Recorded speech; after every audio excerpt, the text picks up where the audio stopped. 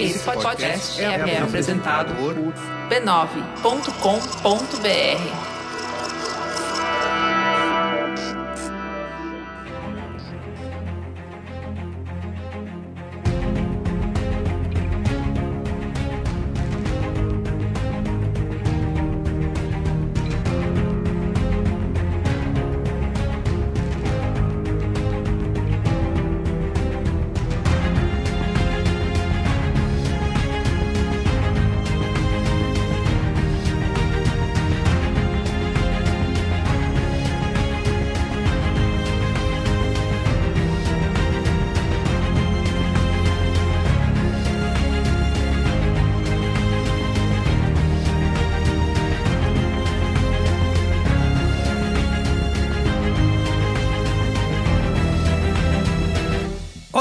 sou Carlos Merigo, esse é o Cinemático número 177. Estou aqui hoje com Pedro Estraza. Fala, rapaziada.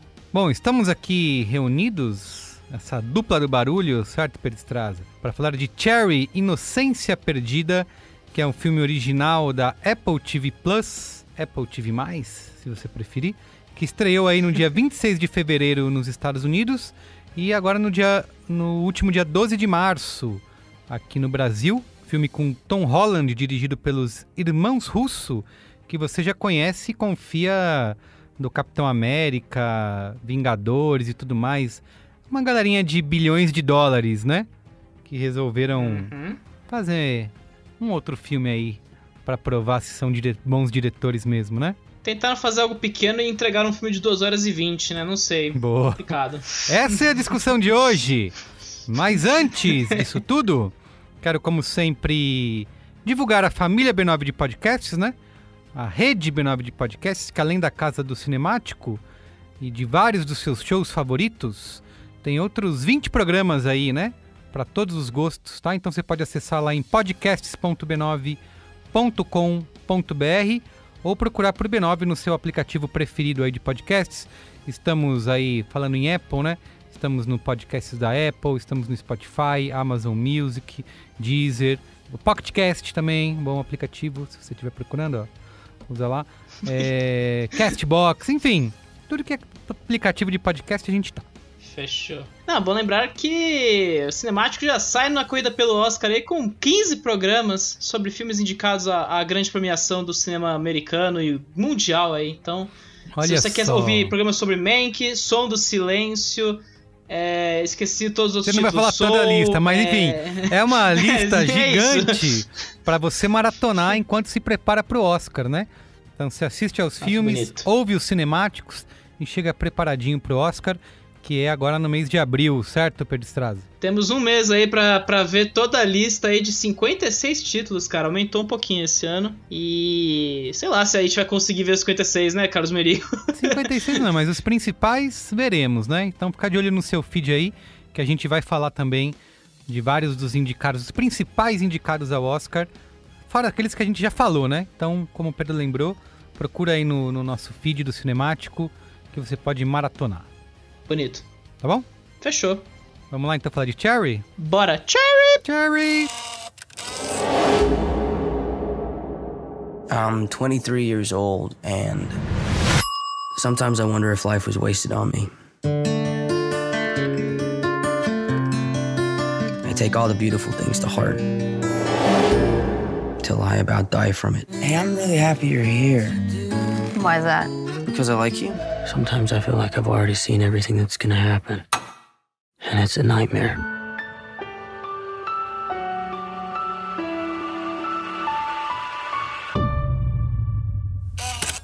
Bom, Cherry, que é dirigido, como eu falei, pelo Joe e Anthony Russo, é, que você conhece bastante aí nos últimos anos, mas acho importante a gente falar sobre o filme antes, né, Pedro Estraza? É um filme que foi produzido originalmente para para Apple TV? Então, na verdade, esse filme ele é baseado num livro de mesmo nome do Nico Walker, né, que é o Cherry Inocência Perdida, e que é um livro que saiu com um certo burburinho a ponto de levar muito estúdio a querer os direitos de largada. Assim, eu acho que o livro nem tinha três meses de vida quando os direitos foram comprados pela a GBO, né, que é o estúdio dos irmãos russos que eles têm aí já uns 4, 5 anos aí, mais ou É, menos. eu li que eles, que eles compraram enquanto estavam filmando ainda o, o Vingadores Ultimato, Uhum. né? Que o livro estava fazendo já um certo burburinho lá na terra do tio Sam. E aí eles compraram os direitos por um milhão de dólares, que inspirado pelo sucesso do livro, obviamente, mas também porque o livro se passa, né?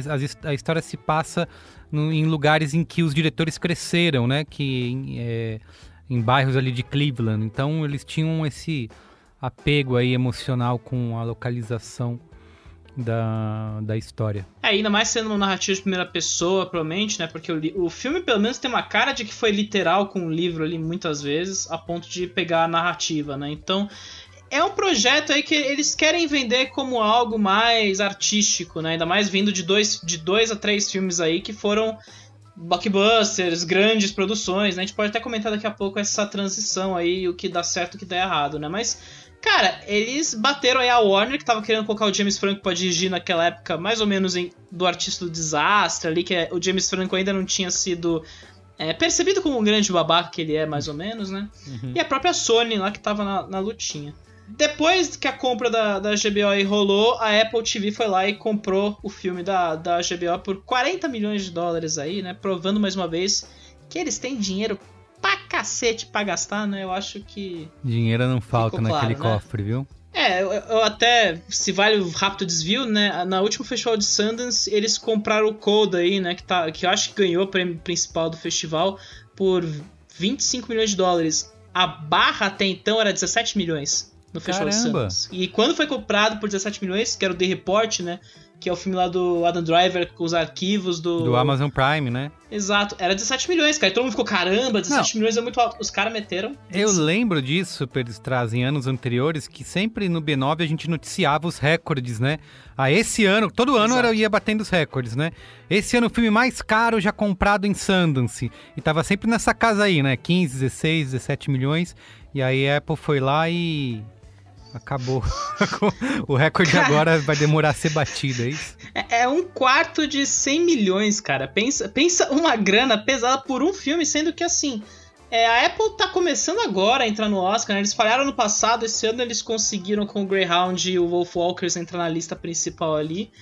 Mas assim, cara, eles estão gastando dinheiro e eles até tretaram, né? Teve, teve um lance de que é, o filme já tinha direitos internacionais segurados com consumidores e a Apple comprou mundial, né? Todos os direitos. Então, cara, deu um.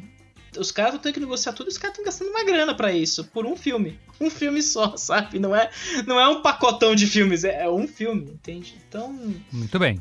Apple Tem apostando, dinheiro, né, né? Carlos? É, a Apple apostando muito alto e, cara, nesse caso eu acho que é compreensível porque é o novo filme dos diretores de Vingadores Ultimato, que por um acaso, até sexta passada, era a maior bilheteria da história do cinema, né? Perdeu de novo pra Avatar agora na virada, né? Mas, enfim, os caras têm muito dinheiro e eles até então tinham essa liderança da GBO, então assim, eles estão numa posição muito consagrada e a Apple tá atrás desses nomes que deem um status de VIP, né? VIP, né, pra Apple TV Plus, né? Que eu acho Pra que eles você, querem, né? pra conseguir conquistar assinantes. Exato. Muito Mas bem. quem diabos é Joe e Anthony Russo, né, Carlos Merigo? Joe e Anthony Russo são, primeiro, dois americanos ali da região de Ohio, com idade de 50 e 51 anos, respectivamente. É, graduados na Universidade de Iowa e Pensilvânia, mas que do- desde sempre trabalham juntos aí, eles nunca fizeram trabalhos separados, como por exemplo os irmãos Safdie ou os próprios Coe aí, que uma época estavam fazendo trabalhinhos separados. O próprio Joel Cohen tá dirigindo um filme sozinho agora, por exemplo, né? Eles estrearam em 97 com o Pieces, né? Que é um filme que foi pago com empréstimo estudantil e cartões de crédito, então você vê o nível baratinho do rolê, né? Mas que chamou atenção já no Festival de Sundance do Steven Soderbergh, que era então o messias sagrado do cinema independente americano, o cara que tinha ganhado o Festival de Cannes com um filme, primeiro filme, né? Enfim. E aí eles conseguiram um financiamento para trabalhar no Welcome to Collinwood, aí tudo por um segredo, que estreia em 2002. Desde então eles foram ficando ali pela TV, né? O Kevin Riley, que era executivo, levou eles para pro FX, onde eles dirigiram o episódio da série Lucky em 2003 e a partir daí eles tomaram gosto pela coisa, né? Eles, eu acho que o momento mais sagrado deles foi quando eles dirigiram o piloto de Arrested Development, né? Que eu acho que é o o grande momento deles na televisão, né? O Arrested Development virou esse grande culto pequeno, a série foi cancelada, mas foi se mantendo um sucesso. Netflix depois ressuscitou, né? Exato. E aí eu acho que eles conseguiram fazer a transição pro community, que eu acho que era onde eles foram se fortalecendo ainda mais aí no processo. E engraçado, né? duas séries bem de nicho que nunca tiveram um público muito amplo, mas uma, uma base de fãs muito fiel, né? Então, é, a partir daí, cara, eles até fizeram uma comédia antes no meio do caminho, que é o 2 é bom, 3 é demais, que é uma comédia divertida. Tem o Robbie Williams, que se eu não me engano aí, num, num papel meio. Ou era o Owen Wilson. Enfim. É com Owen Wilson. 2 é bom, 3 é demais. Wilson no nome original You, Me and Dupree, né, lançado em 2006. Cara, é como divertido, porque ele faz o padre que é muito inconveniente, Owen Wilson, né? Então tem um, tem um lance aí que eu. eu é, é comédia esquecível. Em um final de semana você já esqueceu aquele filme. Mas é um bom passatempo se você estiver vendo pro streaming, vale muito a pena, né? E aí, cara, eu acho que eles até fizeram uns vários pilotos e tudo mais, mas, cara, eu acho que eles viraram o que são hoje dirigindo aí o Capitão América 2 em 2014, né? Que aí é, eu acho que é outra, assim como a Marvel fez durante vários anos, né? De trazer esses diretores que são. que não são diretor nomes consagrados, né? Mas estão começando, são promissores ali e acabam dando grandes projetos na mão dessas pessoas aí. Talvez por um misto de uh, vamos confiar em novos talentos, mas também trazemos pessoas com quais a gente pode é, exercer a nossa vontade acima de tudo, né? Não, a gente vai trazer um diretor autoral que vai ficar eh, nos enchendo o saco se a gente quiser mudar alguma coisa, né? Tudo bem que eles já trouxeram, né? Teve o Kenneth Branagh que dirigiu Thor, mas depois não voltou, né? Talvez não à toa. Ah, mas é, é, o Kenneth Branagh, né, cara? Não é exatamente o cara super autoral que tem uma puta voz ah, ali. Ah, mas é o Shakespeareano, deve ter as suas as suas vontades e as suas ideias, né? Eu total imagino que o Braga é muito puto com o Kevin Feige no set, porque depois ele não voltou, né, cara? Exato, foi, foi meio que um rolê exato. assim. Que nem, eu, eu penso muito no, no diretor lá do, do Homem-Aranha, né? O, que é o John Watts. o John né? Watts, né? Cara, esse cara, ele tem. O que, que ele tem antes de fazer o, o Homem-Aranha lá do Tom Holland, né? O primeiro. Cara, ele tinha um, um ou dois filmes totalmente feitos para portfólio, assim, né? Que não tem e aí a Marvel foi Não, lá. O cara era portfólio. É, exato. Aí a, a, a, Marvel vai lá, pega esse cara, né? Pinça esse cara, tá, você toma aqui um dos maiores personagens da cultura pop global para você dirigir um filme, sabe?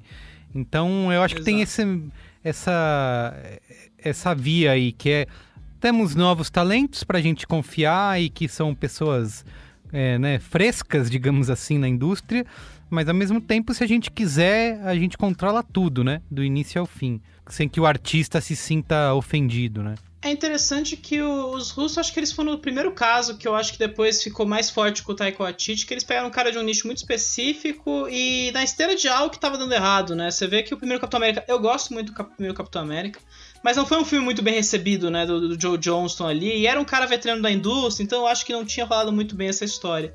Aí ele chama os irmãos russos, que vem da que é isso, vem de um passado ali muito de TV, os caras são muito pau pra toda obra ali, é. e coloca pra fazer um filme de thriller político com carinha de anos 70 80 que deixou muito fã da Marvel. Não, e olha o tamanho do que eles estavam fazendo antes para isso, né?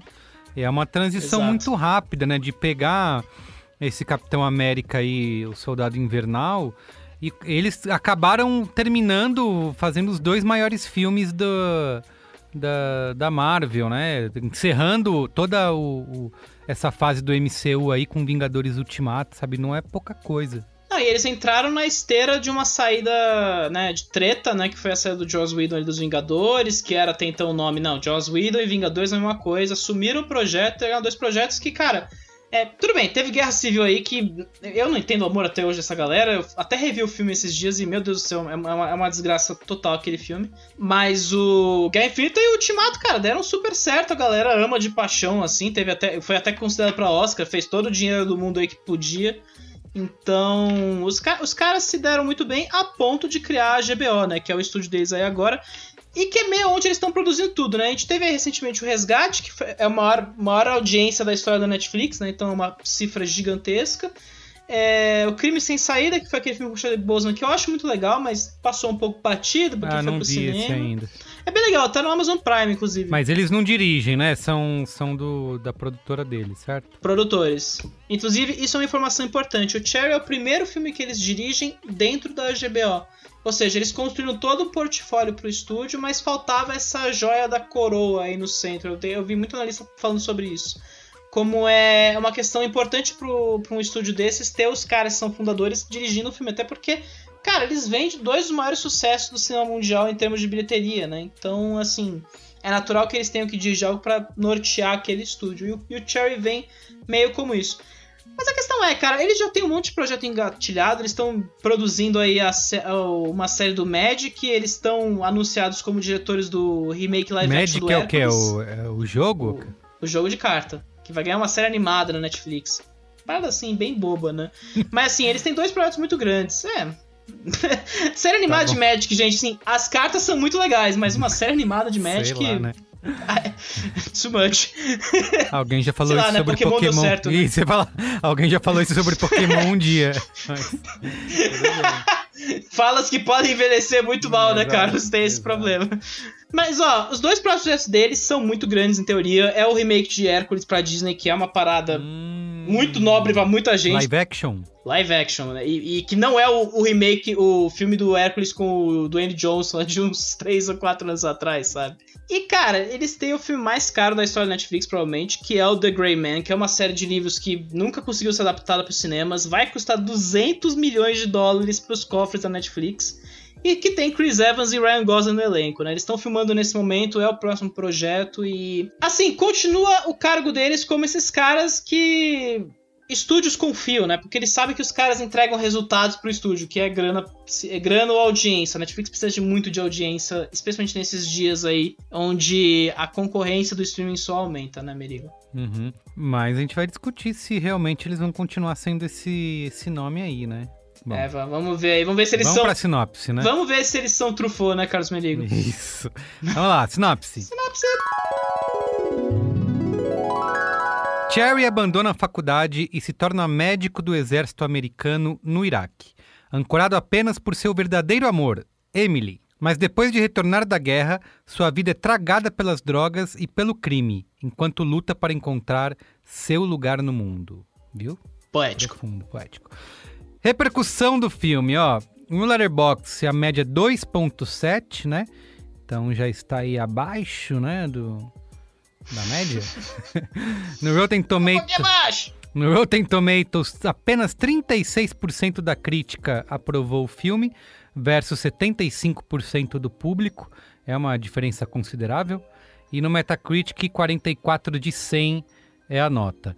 Peristraza, a gente não tem Apple TV, não tem nada, né? Não dá pra saber nada. Ao contrário de Netflix, que temos rankings, Apple TV não, não nos oferece nenhum tipo de dado, certo? De audiência. Então, né, eu acho que o único sinal que a gente pode ter da Apple é que até agora eles não divulgaram aquele famoso e-mail de imprensa, release de imprensa. Não, porque Cherry foi a maior estreia Ah, do da... Apple TV Plus nos últimos tempos, né? Não, não teve isso. Tipo, Billie Eilish teve, Greyhound teve, acho que o The Rocks teve um... Não, foi acima da média, mas o Cherry Por enquanto, nada. sem sinal.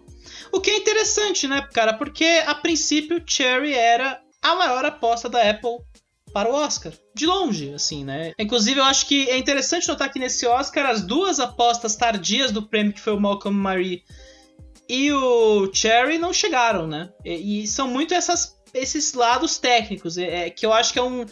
É um estereótipo típico da temporada de prêmios. Aquele filme que no último momento chega e ou é indicado pra tudo ou arregata tudo, né? A gente viu isso ano passado com 1917, por exemplo, né? Uhum. Que era aquela coisa, o lado técnico, o plano de sequência.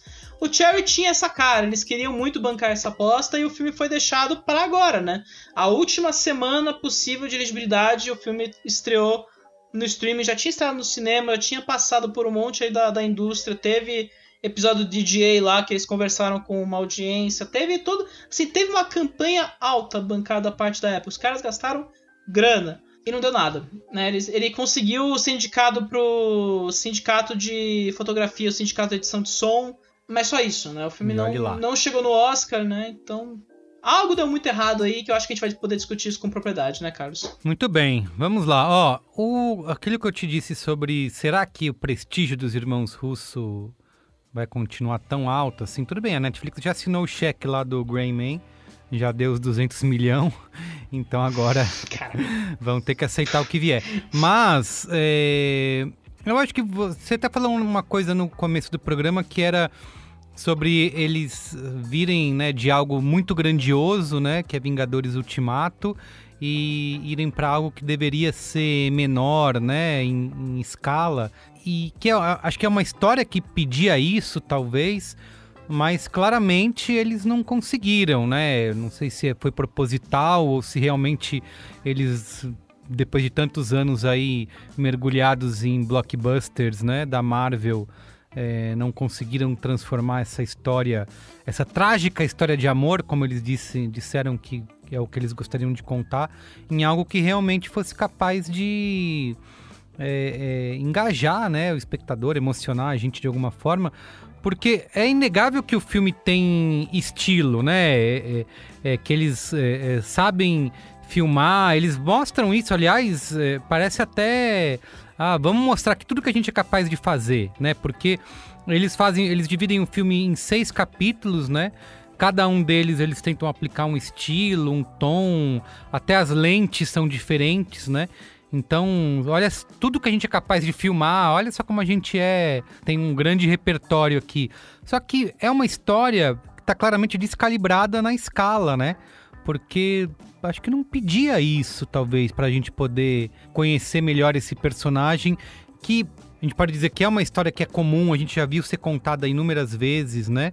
É, é, em outras séries, né? Em outros filmes. É uma história é, de um soldado que vai pra guerra, vê os horrores da guerra e volta, tá descaralhado da cabeça, né? A gente já viu tantas vezes isso, essa história ser contada, e talvez para tentar maquiar essa essa fórmula, né? Eles caem para esse lado de ser mais exibicionista no estilo, né? Só que para mim o, o que eles conseguem com isso é fazer um filme que é extremamente pretensioso, né, o tempo inteiro e inconsistente, né? Mais do que pretencioso, acho que o principal problema é ser inconsistente, porque é, é uma bagunça no tom, né? Ele tem. Eu vi até uma entrevista que eles deram para um cara do Los Angeles Times, até no canal do, do, da academia, né, do Oscar. Disseram que eles era proposital que esse tom fosse diferente em cada uma, em cada um dos capítulos, né? Então tem um capítulo que é mais bem-humorado, tem um que é mais introspectivo, tem um que é mais é, a, que é a, cena da guerra mesmo. Só que, cara, acho que não, a coisa não conversa, né? É, é... é, esquisito que passa o mesmo tom, né, em tudo. Tipo, eles falam isso, mas o filme não, não parece que muda é, tanto exato, assim. Exato, você não percebe essa mudança. O que eu mais percebo é quando eles tentam ali fazer algumas montagens bem humoradas e que eu acho completamente forçadas, assim, né? É, eles tentam em, em fiquei com essa impressão, não sei se você percebeu isso, eu sei que você não terminou de ver, mas que eles tentam até emular um pouco de, do, do climão de Breaking Bad, sabe? Em algumas cenas. E só que assim, não vai para lugar nenhum, né? É, o filme tenta ser muitas coisas ao mesmo tempo, só que nenhuma delas funciona, né? É, como eu falei, eu acho que eles têm é, o mérito através do estilo de dar alguma cara para essa história que é super batida, né? Que a gente já viu ser contada inúmeras vezes. Só que é inconsistente, forçado, assim. Ela não. É o filme o tempo inteiro querendo dizer o que a gente tem que sentir, né? Ele nunca consegue ser autêntico é, em, em, em, explorar essas nossas emoções. Mas dito isso, Pedro Estraza, eu acompanhei um pouco da repercussão aí da crítica, né, e da audiência. E eu não acho uhum. que o filme é horroroso, né? Dessa forma, é, como eu vi colocado em algumas críticas por aí. Eu acho que é um filme assistível, sabe? É, eu, eu já falei aqui inúmeras vezes no Cinemático, né? Que eu venho de uma série de. de maratonas.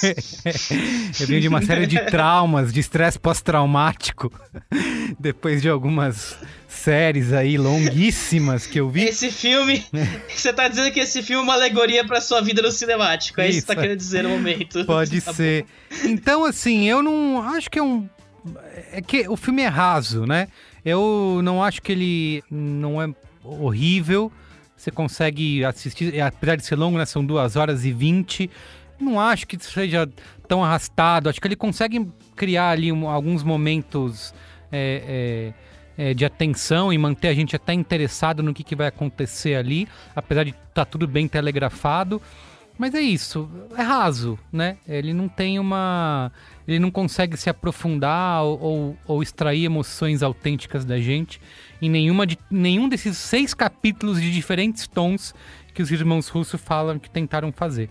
É isso. E você, Peristrazo, o que você achou? Cara, eu acho que a palavra para mim que define o filme é superfície. Porque os russos até o momento, eles, eles, são caras que. E é bizarro, né? Porque eu acho que esse filme comprova algo que a gente tá falando há muito tempo, né? Que os russos não são diretores, mas são produtores, né? Eles têm, eles têm um outro perfil que escapa da direção, mas eles são produtores que realmente acham que é diretor a ver por toda essa campanha de divulgação e a ver pelas declarações meio infelizes que eles têm dado aí de grandes pensadores que parece que são aqueles caras que acham realmente que o mérito do, do Vingadores Ultimato ser o maior bilheteria de todos os tempos se deve unicamente a eles. A, hum, a lá James Cameron, sabe? Sei. A meio avatar. Como, como criativos e visionários, é isso? Eles se veem dessa Exato. maneira. É meio um rolê meio Zack Snyder. O cara se acha muito visionário, só que ele não é. É meio Sim. só publicidade, sabe? Uhum. Então. E eu acho que é algo que a gente, a gente vê muito no, na trajetória dos russos desde então, né? Porque você vê. Eles vieram de Community, que é uma série que eles dirigiram é, paródias ali muitas vezes. Os episódios é, temáticos de Faroeste eram deles, né? Os primeiros, pelo menos. Então aquela ideia de você pegar uma estrutura muito conhecida e imitá-la em uma outra estrutura, né? Eles fizeram isso com o Capitão América e o Soldado Invernal ali, né? Que era essa parada, né? Vamos pegar a estética dos filmes de thrillers dos anos 70, 80 e trazer aqui pro nosso filme de super-herói aqui, dar uma outra cara um Capitão América, que até então era um símbolo nacionalista, né? Que o Joe Jones trabalha tão bem ali no primeiro filme. O Guerra Civil era o teste pro Guerra Infinita, né? Foi aquela coisa de reunir tantos heróis e como manejar tantos dramas ao mesmo tempo. Tanto que Capitão América fica bem pequenininho na história. E aí você vai pro Ultimato, Guerra Infinita, que são aquela coisa, né? Eles trabalham para gerenciar personagens, basicamente. É, eu queria falar uma coisa que talvez eu esteja sendo injusto com os diretores, mas sei lá, são dois homens brancos, então Dani, se você posso vou correr esse risco de ser Tá tudo bem, ele, ele só um deles só viveu um personagem gay no Ultimato, não, não, não é nada é, demais, isso, entendeu? É, que é, eu não, o quanto desse sucesso, né, do, dos Vingadores é obra deles ou quanto isso é uma unidade de uma empresa, né? De quanto isso foi construído como uma, uma unidade de consistência da Marvel Studios, né?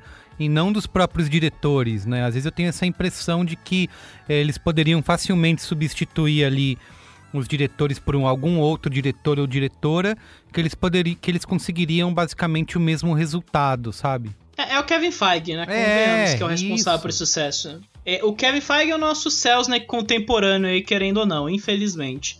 Então ele é o cara que tudo que ele toca ele consegue tornar em ouro, ele é o cara que conseguiu criar essa forma. Não é os irmãos russos, né? Mas os irmãos russos acreditam muito nisso. Mais o John né? Favreau estão... até do que eles, né? Se bobear. Exato, o John Favreau conseguiu ser importado pra Disney, né? Pra dar jeito e um monte de coisa. A Disney depois voltou pra Lucasfilm fazer Star Wars, né? Então você vê. É, é muito Kevin Feige e muito Bob Iger também, né? O Bob Iger que é o chefão da porra toda, é o cara que teve toda essa ideia gigante que é o ecossistema da Disney hoje consegue 100 milhões de assinantes num período de 16 meses. Não é exatamente os irmãos russos, né? Eles são parte de uma cadeia maior de engrenagens aí, que é o que caracteriza a Disney hoje, né? Eu acho que a gente pode até falar mais pra frente disso numa, nas questões relacionadas a Nomadland, por exemplo, aí que tá favorito pro Oscar de melhor filme, por exemplo. Mas é uma outra discussão, a gente já tá saindo um pouco do espectro do Cherry. A questão do Cherry é a seguinte, né? Eles têm essa crença que eles são autorais, quando na verdade eles trabalham muito bem em estéticas, eles trabalham muito bem em pegar superfícies e aplicá-las em outros ambientes. E o Cherry é basicamente uma sequência de superfícies que eles ficam aplicando o tempo todo, né? E você vê, cara, eu sou. Eu, né, o Merigo tava zoando aí as pessoas que detonaram o filme na, na crítica tudo mais. Eu sou uma das pessoas que detestou o filme aqui, já jogo, já jogo a, a céu aberto nesse sentido. Porque, cara, é, o filme, por mais que seja só 2 horas e 20, parece que ele tem 4 horas de duração, porque parece que cada segmento é um filme diferente, né? Parece uma minissérie o rolê uma hora ali. Porque, ah, esse aqui vai ser o episódio Nascido para Matar. Ah, esse aqui vai ser o episódio do Fargo. Ah, esse aqui vai ser aparentemente o episódio dos Inocentes, né? Que eles queriam. Eles estavam falando da. da usa, eles queriam copiar a ousadia do Truffaut de, dos Inocentes pro Atiro no Pianista, que são dois filmes radicalmente diferentes, né? Falas completamente, né? Doidas. Mas o filme ele só existe nisso. E é bizarro porque essa história é pessoal, né, cara? Eu, eu, você meio que falou muito bem. Esse filme exigia uma, uma escala muito menor do que ele é, no fim das contas, né? Ele é ele quer ser um filme muito gigantesco numa história que é muito pequena, né? É o relato de um cara de uma, de uma criança, basicamente, né? Bem o esquema Amarga Esperança do Nicholas Ray, né? São crianças tomando posições muito adultas muito cedo, né? O filme é sobre essa questão. Ele e a garota, ele indo pra guerra, tendo PTSD, voltando, virando drogado e, e tendo que lidar com todas essas consequências com menos de pouco mais de 20 anos de idade, né? Tem essa tem esse lado que o filme tenta martelar a todo custo. É, e eles tomam uma. o que estão fazendo. É, cê- vou até aproveitar essa sua frase dos russos não entendem o que estão fazendo, porque o roteiro é escrito por duas mulheres, né? Que é a Jessica Goldberg e a Angela Russo, que é irmã, né? Do irmã caçula dos diretores. E, e eu acho que eles. Eu não, eu não li o roteiro, obviamente, para dizer isso, mas acho que eles transformam esse roteiro numa coisa. É, às vezes tão juvenil, né? Num, numas piadas e numa, numas opções mesmo criativas tão juvenis que eu custo acreditar que eles transferiram pra tela aquilo que estava no roteiro, né? Parece que eles, ah, vamos fazer um. é, é, é, salpicar aqui um pouco da nossa adolescência e. com- Marca. É, exatamente. Então, continua aí. Não, o, o lance é, é- é uma coisa meio executora, assim, não é direção, não é visão criativa. É muito como é que vamos pegar este livro e transportá-lo pra tela no sentido mais literal possível, porque você vê que ele conserva a narrativa em primeira pessoa sem mostrar por que ele tem essa necessidade, sabe? No final do filme ali ele vai largar tudo pra um final poético, é, contemplativo, que nem tem lógica com tudo que o filme foi até aquele momento. Não sugere nada, não acrescenta nada. Então você sente muito esse lance. Eu acho, é, talvez que eles gostaram muito desse livro, queriam transportar todo esse sentimento. Mas é bizarro um filme que é tão pessoal no relato, tão primeira pessoa, tão sobre aquela pessoa vivendo aquele momento, sofrendo todas as consequências, todas as decisões que tomou. Não parece que tem uma é, individualidade o filme, sabe? Não tem uma. Não tem, aquele, não tem aquela correlação, sabe? Que a gente vê muito nesses filmes autorais, sabe? Do cara se ver naquele personagem ou querer espelhar naquele personagem uma série de temas. O filme é só superfícies, né? Então, é, eu até brinquei no The Box que é uma sensação de meio que você vê um mímico tentando entreter uma audiência sem saber que está preso dentro de uma sala de espelho sozinho, sem ninguém para entreter.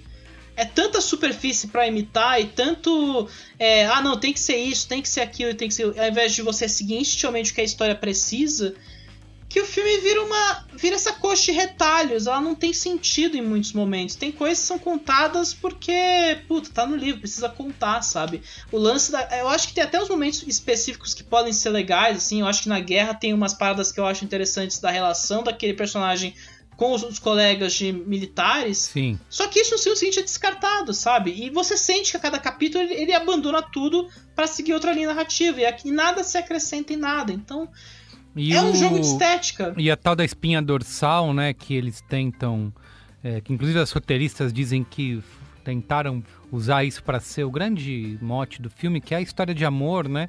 Ela acaba não sendo é, é, impactante, né, ou envolvente de qualquer maneira, né? Assim, é porque fica tudo diluído no meio dessa dessa coxa de retalhos que você falou. Não, e, cara, você vê, é assim, a Olivia Cook e o Tom Holland, mais a Olivia Cook, a gente sabe que são dois bons atores, sabem como lidar com personagens complexos, são jovens atores muito bons, né? Mas eles estão claramente perdidos no filme, né? Não, não existe um direcionamento ali pra eles. O Tom Holland tem que viver vários personagens ali. O, o lance da divulgação do filme é que ele vivia várias versões Isso. do mesmo personagem. É. Sendo que, cara, é, é de novo, é o jogo de superfície, sabe? Você não sente um, um, Você um falou avanço no é. Chiara Bravo, o nome da moça, né? Chiara Bravo, desculpa, Olivia Cook, eu confundi. Eu tô, eu tô ainda impactado por som do silêncio, é, existe essa, essa, essa dúvida. Tom Holland e Chiara Bravo. A Chiara Bravo e o Tom Holland. A Chiara Bravo não, não conheço tanto, mas o Tom Holland a gente sabe que pode ser um bom ator aí. A gente não sabe. A gente tem que ver mais ele em, em lados É, dramáticos e menos Isso é uma, uma boa, ali, né? um, um bom ponto, né? Porque assim, ele,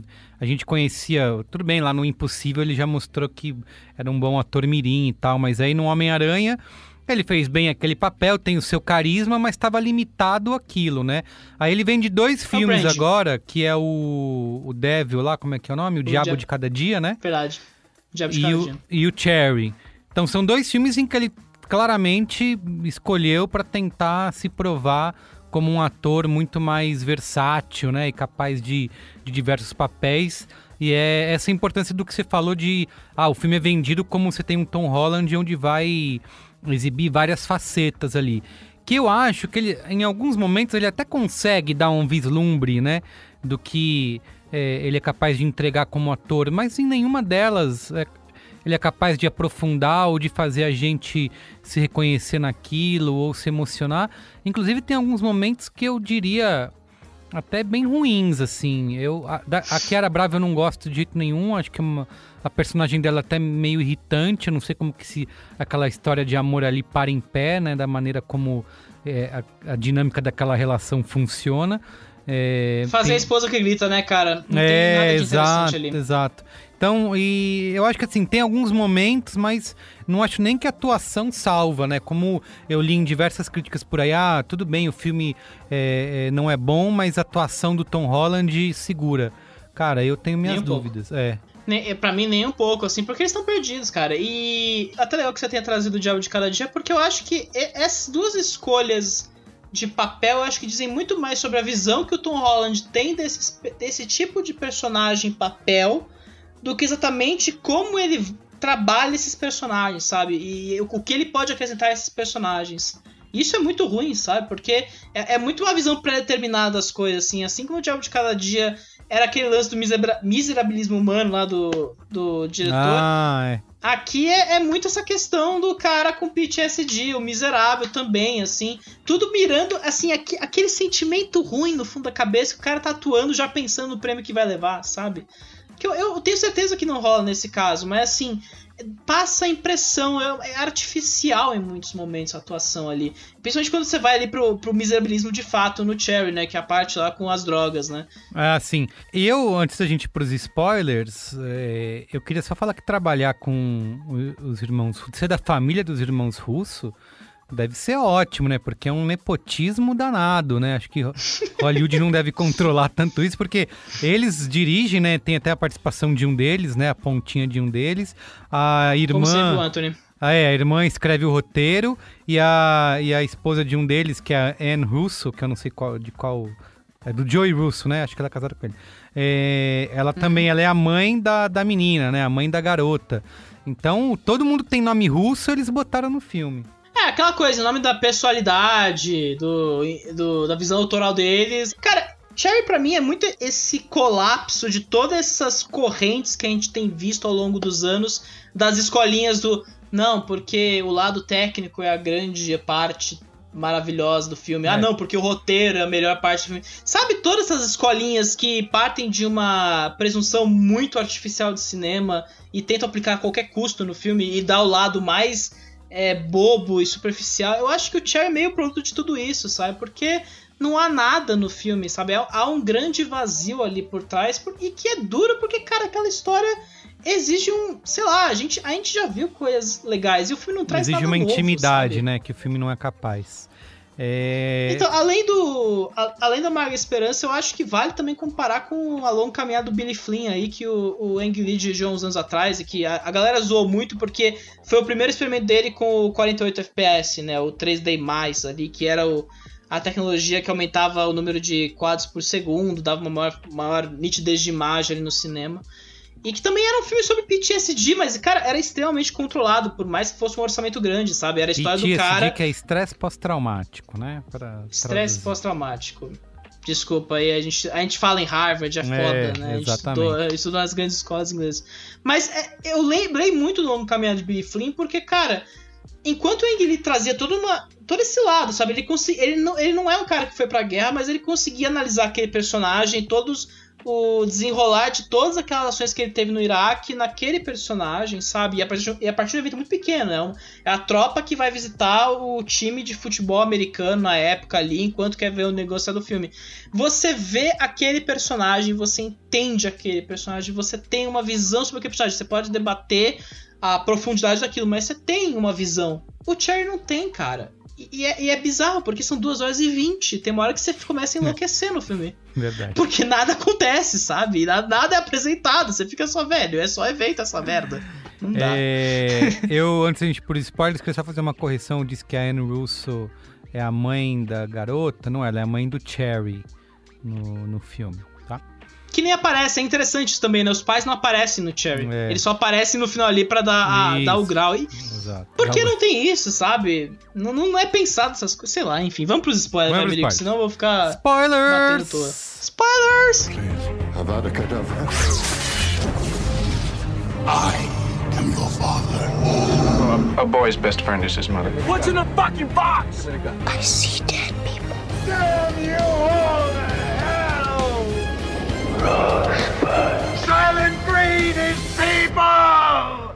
Quer começar com a cena do cu? Nossa, cena- é isso que eu falei, né? Sobre você ter ali um- uma dose na direção de da garotada juvenil querendo fazer coisas só porque, ah, mas tecnicamente aqui vai ser legal botar uma câmera dentro do cu do rapaz. E aí isso acontece, só que não tem motivo, né? Assim como é, é, outras diversas montagens, né? Eu acho até legal aquela montagem do final dele na cadeia, né? Que a câmera vai vai andando de lado e vai mostrando o tempo passando, né? Faz o, o- a passagem de tempo dessa maneira. É legal, eu acho que funciona. Mas eles aplicam isso em diversos outros momentos no filme é completamente de graça, né? Que não tem, não tem porquê. Por exemplo, o banco que ele assalta, acho que é o último que ele assalta, que chama é, o nome do banco, né? É, o banco. X Bank. Todos os bancos têm um nome escroto ali. né, Isso, fim, né? é, Banco Fodendo América, né? Não sei se isso cabe dentro daquela história que eles estão tentando contar, né? Que aí tem aquela cena lá que eles vão estourar o cofre, né? Que também tem algumas montagens bem humoradas, muito a lá Breaking Bad, né? Assim, só que não orna, né? Ao contrário do que a gente vê o Vince Gilligan conseguir fazer, né? De ter o peso dramático ao mesmo tempo que ele tem uma cena super debochada, irônica, né? E bem humorada naquele contexto e que funciona, ali não, não traz nada, parece de graça mesmo, né? O- me lembrou os piores momentos na Ritu, assim, esse filme, porque é muito esse lance, assim, principalmente no final, no epílogo, esse lance da câmera, é, eles fazem questão de denotar aquilo que é o último movimento do filme, né? Porque tem o lance do epílogo. E aí você Ah, fala, não, agora sim. é o epílogo, agora, agora é a nossa grande pista de resistência aqui pra fazer o filme, né? E aí tem aquele momento de câmera e você fala, caralho. só-" Que é uma coisa que o Inaritu tem muito nos filmes, né? Aquele lance de é, uma, uma soberba, um ego gigantesco pra fazer aqueles momentos. Falar assim, olha como eu sou foda, como eu tô fazendo esse filme. E eu acho que o Cherry existe muito em função disso, né? Todo capítulo tem a, é, o maneirismo da coisa. É. E não é pensado na história, é pensado só em prol deles, de certa forma, ali. O que é esquisito, cara, porque não acrescenta nada em algum momento. É. Esse lance do, do- da parte do drogado, do cofre, me lembra muito Fargo também. Que é muito esse lance, os acidentes, os, os assaltos que dão errado, né? Tem uma parte, assim, é só emulação, sabe? Eu comecei a perceber isso a partir do lance da guerra ali, que é quando é nascido pra matar de cabo a rabo, sabe? Uhum. As assinaturas, eles multiplicam o número de sargentos berrando pra fazer a crítica. O filme só existe em função disso, sabe? Não é uma coisa de referência, porque o propósito é acoplar um monte de referência e contar a história a partir de referências como Atire no Pianista, sabe? Que é um filme criado a partir de só referência de cinema, né? Que é- essa é uma fala clássica sobre crítica pro filme. O Cherry não, cara. O Cherry é meio. É o virtuosismo técnico acima de tudo, assim. E, lembra muito 1917 pra mim nesse sentido. É, e eu acho que o filme tem muitas partes é, que não são críveis, assim, né? É difícil acreditar, por exemplo, na facilidade que ele tem de roubar os bancos, né? É, seguidamente ele faz isso, sempre escapa, nunca tem nenhum tipo de, de, de segurança, né? É, eu sei que a história que ele conta na história real aí do Nico, que tá no livro dele, é que ele fez isso, né? Assaltou banco, mas o filme transforma isso como se ele tivesse é, roubando doce, né, na, na lojinha de conveniência e não assaltando grandes bancos como ele faz, né? E outra coisa que também me, me incomoda é que eu acho que os personagens são muito jovens, né?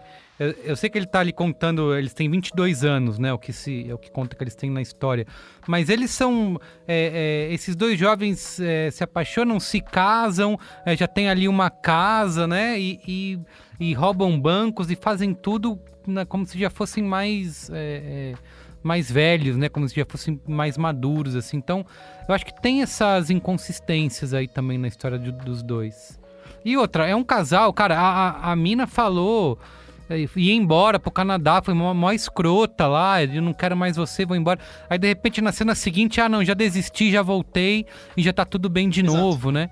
Não há atenção aos detalhes, né? É muito. É isso que eu tô falando. É muito levar o livro ao pé da letra, né? E eu acho que o livro, por ser em primeira pessoa, aceita esse tipo de casualidade, porque, de novo, é o relato do cara. Então, ele não sente a passagem do tempo. Mas o filme tem que mostrar a passagem do tempo ali. E, cara, eu acho interessante. Esse filme eu acho que tem uma duração de 5 anos aí na vida do cara. Pelo menos antes do epílogo, né? Não, que são- ele vai passar é, 10 anos ali. São 15 anos no total, né? 15 anos. É, 2000, ali 2007 a 2019, né? Que é o tempo que ele ficou na cadeia que vira o epílogo. Sim, sim. Então, na história, na história do cara, são cinco anos durante a quase totalidade do filme. Eu não sinto esse avanço, cara. é, É, é. é estranho. Exato, não sabe? sente Tipo, avanço nenhum. Tirando a maquiagem horrorosa no final, né? Cara, meu Deus, quem colocou aquele bigode no Tom Holland, é, né? Puta. exatamente. Esquisitíssimo. Não precisava de. Ah, precisa deixar o Tom Holland mais velho. Tá com bigode nele aí. Coloca uma, uma aparência fra- de fragilidade nas bochechas também, né? Diminuir a bochecha, rola isso, uma afinada no rosto pra denotar uma, um abolecimento. Cara, é artificial esse filme, assim, mas é artificial num nível louco que os caras acham que é a verdade, sabe? É, é por isso que eu falo, é só superfície o momento do filme ali.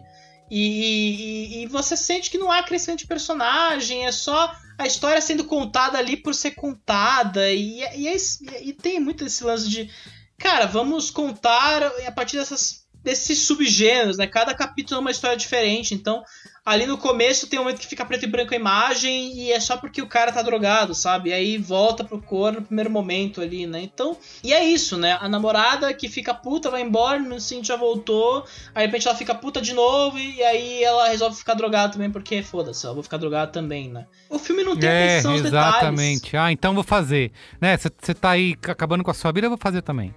Não, tem atenção aos detalhes, não tem interesse em personagem em nenhum momento, sabe? E por isso que eu falo, eu gosto daquele momento da guerra ali, porque pelo menos você sente que há um mínimo, que eu acho que é um pouco dos irmãos russos, né? Eu acho que vem um pouco do Vingadores, dessa relação de bro, assim, que é um pouco que tem o, o em algum momento ali, quando você vê a camaradagem do Tom Holland com outro amigo que também é casado, que também é jovem, que também tá indo pra guerra casado ali, né? Então, você sente esse momento, aquele momento que os, os carros atolam, você sente até um desenvolvimento de personagem ali, né? E quando, as- quando história, o cara tem que carregar É, o esse corpo. é o melhor momento, é. Isso, esse é o melhor momento Exato. E demora uma hora pra chegar nisso, né? do filme. Bom, muito bem. Uma longa hora. Vamos dar notinhas? Vamos lá nas tinhas, vamos.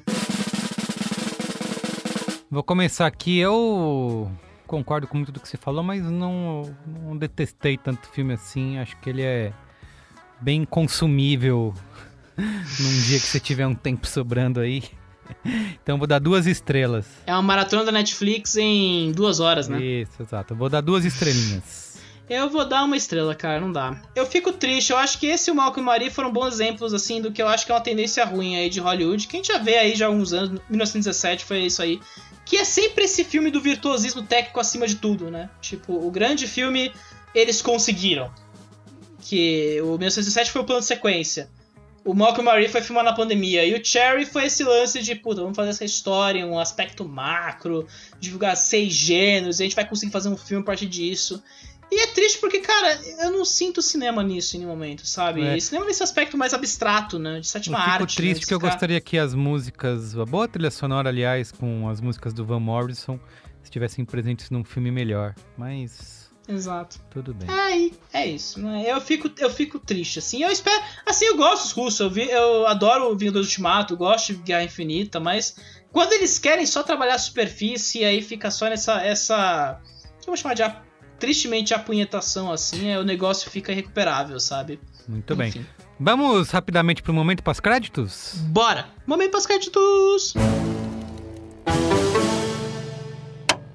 Pós-créditos aqui, por quê, Pedro Estraza? Tivemos hoje, no dia da gravação desse cinemático, na segunda-feira, dia 15 de março, é, os indicados ao Oscar 2021, finalmente, né?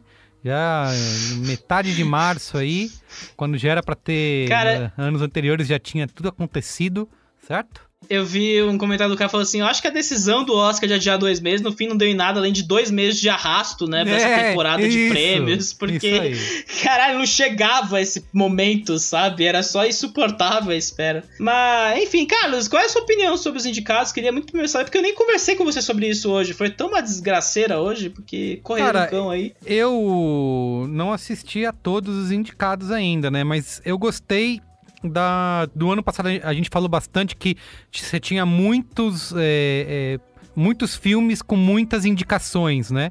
Então você tinha menos filmes indicados, né? Porque estava concentrado é, nos mesmos filmes. Acho que nesse ano pelo menos deu uma uma variada, né? É, eu gostei bastante de ver, eu sei que vocês, não, críticos na Cinefilia Suja, não gostam, mas eu gostei de ver que o set de Chicago manteve sua força até o final. É, não assisti ainda a Minari. Mas perdeu a direção, né? Perdeu a direção, mas tudo Ah, bem, perdeu. tudo bem. Não acho que o Aaron Sorkin merecia. Mas tá, no, tá em roteiro, né? Não acho que o Aaron Sorkin Roteiro- merecia. Roteiro, montagem e fotografia aí, que são os. Ele junto com o Nomadland são os únicos que conseguiram isso, mas o Nomadland conseguiu direção, né? Então. É, a direção ali é o, é o mais fraco mesmo, né? No, no, no Uhum. set de Chicago. É, gostei muito de ver que também um, do- um dos filmes que a gente falou aqui, elogiou bastante no cinemático, que foi o Som do Silêncio. Também está lá na- nas cabeças, né? É, Total surpresa. né, exatamente, também achei surpreendente. Agora, uma coisa que a gente apostava que não ia rolar, né, que tava pendurado ali, que não ia conseguir uma indicação, que era o Mank, né? No fim das contas, acabou sendo o filme mais indicado, né? Nunca errei tanto, cara. Eu achei realmente que não ia, porque chegou. Des... É, quando o filme estreou, a gente olhou e falou: cara, não saiu. Ninguém viu o filme da, da galera ali, o filme não apareceu em top 10 nenhum. Ninguém tava comentando, mas assim, a academia confirmou a preguiça, né? Eu acho, desses últimos meses aí, e falou: ah, é o, é o filme técnico, merece todas as indicações. É. E eu acho que não leva a nada, né? É, também espero, viu? Acho que será, será justo se, se não levar nada. É, e teve o Borá também, né? Com. Meio surpreendente, não é? Cara, eu achei que acho que é o melhor filme, não, não nego, porque ele, ele foi um dos filmes mais lembrados nas, nos sindicatos, né? Ele Sim. chegou em umas 8, 9 indicações em todos os sindicatos ali. E ganhou o PGA, né? E foi indicado ao PGA ali. Então a gente ficava meio, pô, será, né? Será que vai chegar ali de alguma forma? Mas conseguiu. E um feito inédito, né? Ele conseguiu indicação ao roteiro adaptado. O que, pra uma comédia de improvisação, é algo completamente fora da curva ali, Ah, nunca aconteceu. lógico.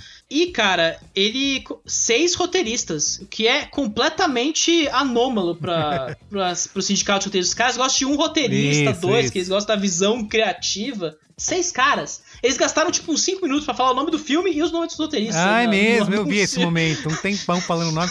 E eu fiquei, já tá, já tá em outra indicação ou é a mesma ainda, né? Não, é tá valendo o nome.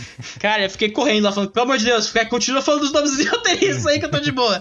Pedro Estraza, dá pra dizer que o, o Minari vai ser o Parasita desse ano? Ou não tem chance? Vai ser tudo pra Nomadland? Cara, é foda, né? Porque o Nomadland tá nesse ponto. Ele é o único que conseguiu indicações em filme, direção, roteiro, fotografia e montagem, fora atriz, né? Que é um lado importante pro filme. Então, e a, e a, e a teve as quatro indicações aí, né? Dessas seis aí que o filme conseguiu. Então o favoritismo é muito claro pro filme. E o Minari, ele tomou um golpe que eu não esperava, que era não ser indicado pra fotografia nem montagem. Hum. Que é uma parada que é relevante aí pra qualquer filme que ganhar o melhor filme, né? Pelo menos um dos dois tem garantia. Minari ali. ficou com o melhor filme, direção, ator, atriz coadjuvante, roteiro original e trilha sonora. Não foi can... Ah, foi trilha sonora, verdade. Trilha sonora, foi original sonora. score. Então, ao mesmo tempo que ele conseguiu um feito inédito, que é indicar dois atores de origem asiática pro prêmio, né? Porque teve isso, né? Foram três atores de origem asiática que estão entre os indicados, o que não só aconteceu mais duas vezes. O Will Brenner e mais um cara foram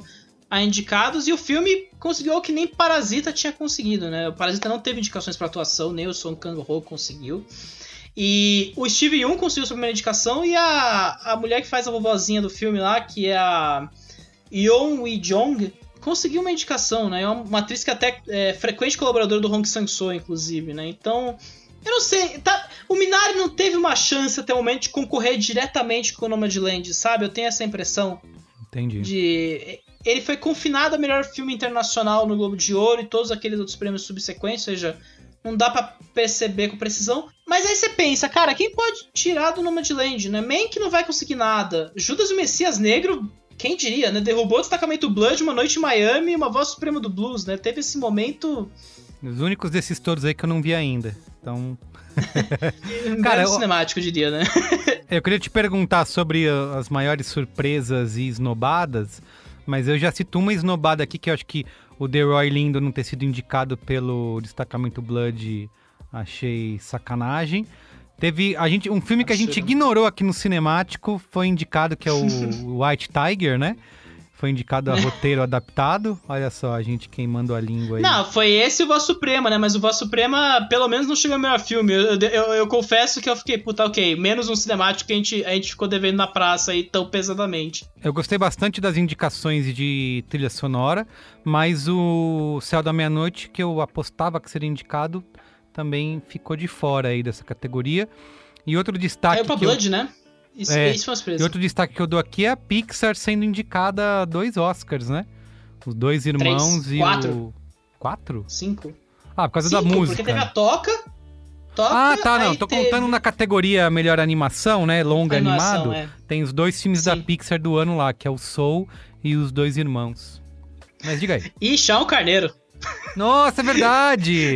O arma... Cara- A criançada lá em casa adorou o Farmageddon. Cara, e, e assim, impressionante porque a gente já tá vendo a DreamWorks fora do Oscar de animação já há um tempo. E esse ano parecia que ia dar, né? Porque era Croods 2 e ninguém tinha. Ah, talvez entre o japonês. Aí entra Shaun Carneiro. O Isso. derivado do Shaun Carneiro entrou no lugar. A raiva da DreamWorks, cara, eles devem ter um preconceito muito grande com a DreamWorks soltando o campeonato, porque nada consegue, assim. Eles vão ficar presos pra sempre pra fora. Então. Fala aí, mas- quais são as maiores surpresas e esnobadas pra você? Tá pé da vida com, as indi... com a indicação da Glenn Close também? Ah, a Glenn Close vai levar, né, cara? Eu, eu tô sentindo e vai ser a revanche dela com a Olivia Colman, né? Já tá rolando essa, essa pequena inversão de, de valores, porque as duas estão em atriz coadjuvante depois que a Olivia Colman ganhou em cima da Glenn Close no Oscar de atriz há uns dois anos atrás, né? Então tem essa história. Mas, cara, eu acho que a decepção pra mim foi ver Destacamento Blood cair, né? A gente já tava sentindo que ele ia morrer de fato.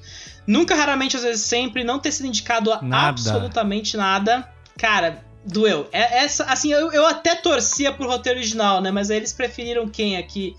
Foi o. Foi o caramba do Sete Chicago no lugar aí. E o Som do Silêncio, que foi uma boa surpresa aí, em termos de, de roteiro aí, talvez, né? Mas, mas de surpresa, cara, é, além da Glenn Close conseguir a indicação histórica de ser indicada pelo mesmo papel Framboesa de Ouro e ao Oscar, né? Que isso tá rolando, aparentemente. e ela vai levar, o que vai ser maravilhoso. Primeiro, Judas e o Messias Negro consegui duas indicações protagonistas em ator coadjuvante, o que é. Tornou o Jesse Plemons no protagonista do filme, que eu achei maravilhoso. É o branco do filme de negros, ele é o protagonista, segundo a Cara, academia. de Nada novo faz isso, né? nada, cara. De Nem- novo. Assim, tinha Delroy Lindo, tinha o, o Lakeith, os caras falaram, não, bota um no coadjuvante e o outro deixa quieto, assim, né? E eu acho que de surpresa o Wittenberg, né? Ah, que o- surpresa. Another Round, né? Another Round, que é um filme que você gostou bastante, né? Inclusive, Eu aí gostei, talvez a cara, gente comente. gostei. Não, não nem considerava que ele seria, teria uma indicação a Oscar e tudo mais, mas é um filme que eu gostei. Bastante acho que é demais, mas Uhum. gostei. É, eu levei um susto, porque eu falei, cara, é, parece que é o candidato que vai levar melhor filme internacional, então beleza, mas eu acho que a gente tá vivendo esse efeito parasita, né? Então o filme foi meio que. Foi meio que carregando pra lá, né? É, por último, eu acho que eu acho que a gente precisa comentar do meu pai, né, cara? Que. Como assim o filme conseguiu chegar lá, né? Eu acho que todo mundo tinha achado que ele tava morto já, porque a Sony aparentemente cagou na distribuição, colocou o filme só nos cinemas e escondeu o filme o máximo possível. Você falou falar do seu pai, achei que era do seu pai mesmo. É, fala, fala, falar do The Father, né? The Father. Por, por que meu pai, cara? É, é muito sugerir o- a, a piadinha pornográfica, né? Não tem como.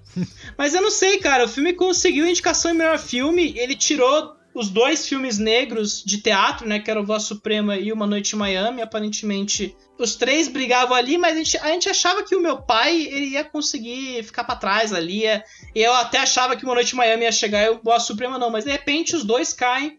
E o famigerado bloco britânico coloca um filme britânico lista de melhor filme, né? Então, complicado, cara. Bem. Temos duas Bem diretoras difícil, né? indicadas, né? História no Oscar, temos duas diretores indicados em melhor filme e melhor direção. Outra grande surpresa, né? A Emerald Fennell conseguiu aí converter o Bela Vingança nas categorias principais, né, cara? É o filme que até então a gente achava, eu achava que era um azarão, não achava que ele ia conseguir chegar lá, ele tava conseguindo indicações importantes, mas aparentemente ele conseguiu ser além do meio efeito garoto exemplar, né? Que a Rosamund Pike virou o, o elemento maior do filme e dane-se o filme, né? Então. Sim. Vamos falar do filme que salvou, ou ia salvar o cinema em 2020, Pedro Estraza. Tenet teve Uhum. menos indicações. Tudo bem, todo mundo sabe dizer que ia ser indicações técnicas, né? É, mas teve Uhum. menos do que o esperado, né? Foram só duas indicações aí: design de produção e efeitos visuais. E nem, nem som conseguiu, Nem nem, trilha sonora, né? Exato. Que era as duas que a gente olhava. É que não teve duas categorias de som, então não deu, não deu pra encaixar aquela extra, né? Indicação. Mas eu acho que, cara, a grande surpresa é design de produção, né? Por quê, né? Why? Filme de hominho, a galera Não, não curte tem um nada. couro. Não tem Não nada tem. que justifique. Mas... Cara, Tudo é. bem. Não, eu, eu vou até. Deixa eu pegar aqui porque eu levei esse susto, né? O. Aqui, melhor design de produção. Ele tá indicado com o meu pai, que é o filme peça. Voz Suprema do Blues, que é o filme de época. Man, que é o filme de época. Relatos do Mundo, que é o filme de época. tem nem comparação, né? Todos os outros são. é, as olhos, a design de produção a olhos vistos, mas essa daí realmente não tem porquê. Temos também, até como saiu no B9 hoje, para eles trazerem ali lá nesse site, tá? b9.com.br, Olha só.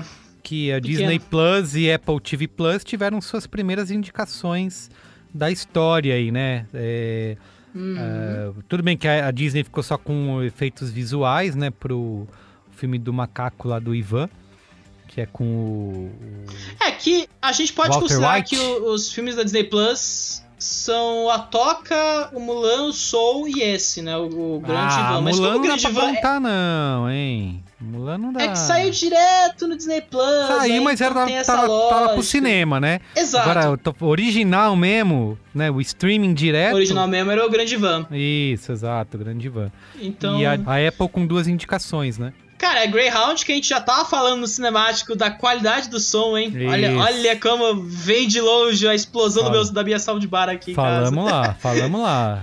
Oscar técnico. Exato, e o Wolf Walkers, né, cara? Que você viu, né, Carlos? Eu, eu não vi ainda, né? Vi, Mas aparentemente é a força contra o Soul, né? Cara, assim, eu acho o Soul, o, o Wolfwalkers é, é bonito, tem um estilo de animação é, diferente do que a gente costuma ver, né, nos 3D da vida aí. Mas assim, não é brilhante, né? Não é um grande filme que se prometia. Porque antes do, de eu assistir Wolfwalkers, ele tava, ó, é o filme que vai roubar o protagonismo da Pixar, né? Que vem correndo por fora aí. A magia desse filme aí vai roubar o protagonismo da Pixar, mas, cara, eu acho que é impossível. Deveria ser impossível, pelo menos né, nunca dá pra afirmar, Soul perder essa, esse Oscar aí, porque A Apple é muito pequena, né, superior. cara? É, é impressionante.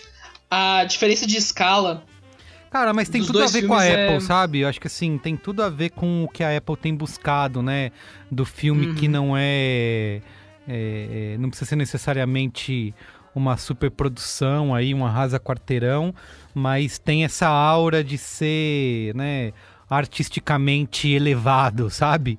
É, então Exato. acho que Wolfwalkers tem tudo a ver com o que a Apple tem buscado. Mas é interessante, né? A gente vê por um lado que as duas maiores apostas deles, que eram On The Rocks e o Cherry, que a gente comentou hoje, eles não fora. converteram. É, eu acho que o The Rocks era, era realmente fora da, fora da alçada mesmo, era um filme muito. Era um filme. Ele é considerado um filme menor pela galera da Sofia Coppola, então não ia ter muita chance. E, cara, a Disney, apesar, né, de. Beleza, Soul é o grande candidato, a Disney tem a maior chance da história de levar um Oscar de melhor filme em 93 anos de história com o Nomadland. O filme tá tão isolado, assim, é tão difícil alguém superar, e vai ser interessante, né? Porque é um filme sobre trabalhadores que estão aí fazendo trabalho na É, Amazon, né? Então, mas- então é o filme independente sobre os trabalhadores da Amazon, produzido pela Disney. Como... é- Eu não sei se aguenta essas próximas semanas aí a- a- o debate do filme, que deve ganhar, intensi- ganhar intensidade porque é o favorito agora, né? Todo mundo quer ver o filme favorito ao Oscar. né? É, eu não sei, Ah. com essa quantidade de indicações do Judas e o Messias Negro aí, eu teria dúvida em afirmar que já tá na mão de Nomadland, hein? Porque É, eu- ganha eu- força, né, com essa quantidade aí de indicações. É, o, o Judas Messias Negro foi uma surpresa mesmo. Eu acho que a- o crescimento dele nessas últimas semanas foi algo a se considerar, mas. Eu não sei, é difícil pensar alguém que consiga bater agora, né? O, o Judas Messias Negro se tornou o primeiro filme na história da academia a ser indicado melhor filme e esse filme ter como produtores só negros, né? O Ryan Coogler, o Shaka King mais um cara. São todos negros, não tem um branco entre os caras, né? Que eu acho que era o caso dos anos de escravidão, por exemplo, que tinha o Brad Pitt ali no meio. Nossa, sim. Só o ator principal que acabou virando com essas indicações aí. Saudades do, do grande pôster do 12 anos de escravidão. Então, é difícil, assim. Será que o som do silêncio consegue crescer agora, né? Porque agora ele virou a grande aposta da Amazon. E a gente sabe que o Mank e o Sete de Chicago não vão muito longe. Cara, fiquei feliz com a indicação do Paul Hasse também como coadjuvante no Sim. Som do Silêncio, né? Acho que foi uma. Porque uma tinha boa- no SEG, né, cara? É, Ele não tinha um chegado bom lá. reconhecimento aí no, no- nessas indicações. Mas, cara, eu posso errar completamente. Eu gosto muito do filme, como vocês podem lá- ouvir lá no cinemático. Mas eu acho que o Por Som do Silêncio vai ficar por aí mesmo, sabe? Vai ficar nessas indicações. É, É. Talvez surpreenda ali nessa indicação de som aí, que realmente acho que o filme faz um uso bastante importante e criativo, né, de, do som. Mas acho que não vai. As indicações vão acabar sendo grande. Tá de bom tamanho, tchan, sabe? né? Isso, popular tá de bom Ah, tamanho. a Amazon sempre estraga a divulgação na hora H, cara. Vê Uma Noite em Miami. Como é que Uma Noite em Miami não chegou, né? É. Era, a aposta mais sólida dos caras, de repente não entrou no melhor filme, não conseguiu a Regina King. A Regina King Putz, é verdade. caiu em favor do. Winterberg. Regina King a gente tava também apostando que seria indicada, né? Poderia ser a terceira mulher dessa lista aí. Teve essas incoerências ali do Oscar esse ano, né? Tipo, eles podiam indicar quatro filmes dirigidos por negros esse ano. Optaram por um só, que é o Judas e o É, Messias Negro. o, o Winterberg não se justifica, né? Eu não vejo. Eu, como eu falei, gosto do Another Round aí, do Druck, mas tem porquê ter uma indicação de direção pra ele, mais do que pra É. Regina King, né? Regina King tinha uma história que era muito mais. Eu até falei isso no cinemático na época. É, Você enxerga muito mais as decisões de direção, porque ela poderia completamente ir para outro lado com, com aqueles personagens que ela tinha na mão e com aquela história que poderia transformar em algo super grandioso e perder a mão, mas ela consegue conter o filme de uma maneira que você enxerga a visão da diretora, né? No caso do, Uhum. do Another Round aí, não vejo isso, né? Não vejo esse. É, é a austeridade da Marquesa em movimento É, o tempo todo, exato. né? Mas é, enfim, aí a Emerald Fennell consegue porque a direção dela é muito mais é, é, adequada aos prêmios do Oscar. Ela é Ah. mais, é, vistosa, esse é o termo. Assim como o design de som do, som do silêncio é mais vistoso, porque o filme é sobre silêncio, o filme Sim, tem toda sim. essa questão do design do som, né? Então, de novo, é difícil num ano como esse pensar que Nomadland não vai levar, porque o Nomadland tem todo esse lance, né? Ele já é o filme premiado. É um lance meio paciente inglês, sabe? Que o filme já chega meio com essa aura de vencedor sei lá como, sabe? Então, é difícil, cara. É... Mas eu, eu sabe o que eu queria dizer, por último, antes de a gente dar tchau, Merigo? É... Eu fico feliz com as coisas pequenas do Oscar. Por exemplo, Eurovision indicado melhor canção original. Eurovision agora tem uma indicação ao Oscar, é isso. Cara, Eurovision, né, vocês que ouvem o cinemático, já ouviram o cinemático do, do filme, estão aí, e vocês sabem que gostam do filme. Bora vencer, porque, cara, tá muito engraçada a canção original, inclusive. Tem três canções que a gente pode brincar que é militantes, né? Que é o Fight For You, Speak Do- Now e o Hear My Voice. Isso. são os isso. filmes, né, políticos do Oscar. E, e todos têm um- o mesmo som, né? Tipo, Fight For You, Hear My Voice, Speak Now, né? Tipo, uma coisa meio... Mas eu vou super torcer Cansou pra as Celeste. armas, né? Vou super torcer pra Celeste, porque acho que Hear My Voice é a melhor de todas aí. Mas você vai É, torcer pro. É. Eurovision, né? Você quer a galhofa. Eu, que, eu quero, cara. Eu só não vou. É que não pode play Yaya Ding Dong, né? Mas se alguém puder falar. Se os caras vencerem e falarem no palco play Yaya Ding Dong, vai ser vitória do proletariado esse Oscar, entende? Ou Muito não, bem. né? Pode ser a vitória da Globo também, né? Por exemplo, a Laura, a Laura Pazini subir no palco e vence. Pela primeira vez desde, sei lá, subiu no Faustão aos últimos 5 anos, 6, 7 Laura anos, né? Eu acho. Sei lá, né? Co- conseguiu, né? Saiu do eixo da Globo, essa, é, a, a italiana. Muito bem. Então, ó, ficamos por aqui, tá? Já estouramos nosso tempo, Pedro Estraza. Você pode Cê é mandar e-mail pra gente no cinemático.b9.com.br ou seguir Cinemático Pod aí nas redes sociais, no Twitter e no Letterboxd, tá bom? E ó, fica de olho porque os filmes que você quer ver do Oscar a gente vai comentar nas próximas semanas, a gente vai dar um jeito. Fique de ouvido. Prometo. Muito bem. Fique de ouvido. Beijo. Tchau. Beijo. Tchau.